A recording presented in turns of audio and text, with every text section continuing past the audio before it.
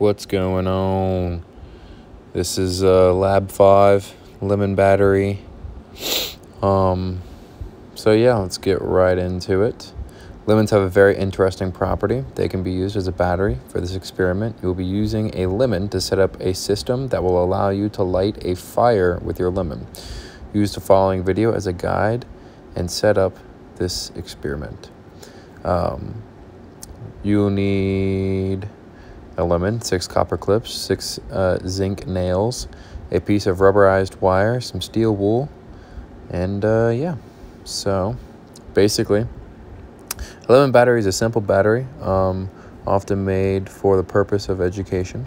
Typically, a piece of zinc metal, such as galvanized nails, which is what I used, and a piece of copper um, are inserted into a lemon connected by wires. Uh, power generates by the, a reaction of materials used in uh, or used to power the small device, such as an LED.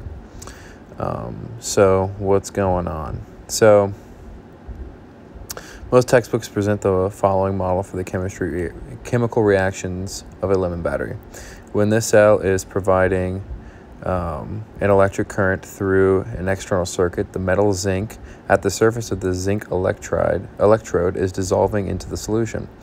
Zinc atoms dissolve into liquid electrolyte as electrically charged ions, Zn2+, plus, leaving two negatively charged electron ions, E- behind the metal. Um, these reaction or this reaction is called oxidation. While zinc is entering the electrolyte, two positively charged hydrogen ions uh, from the electrolyte combine with the two electrons at the copper's electrode surface and form an uncharged hydrogen molecule.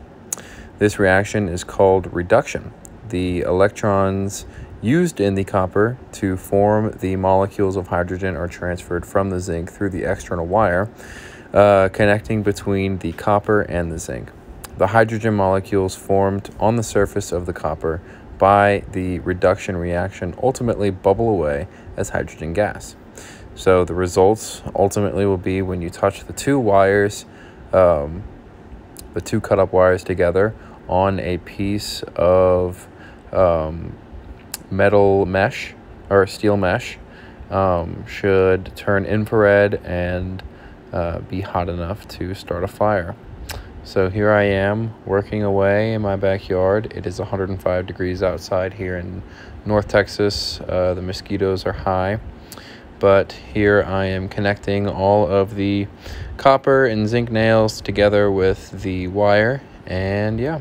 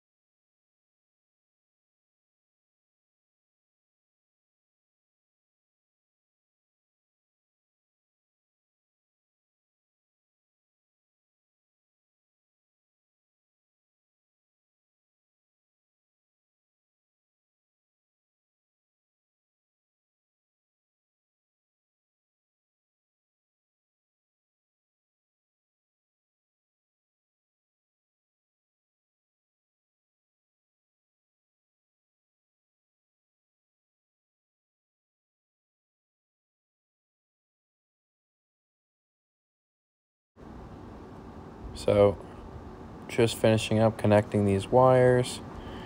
And on this next slide here I am connecting them to the steel mesh. And here are my results.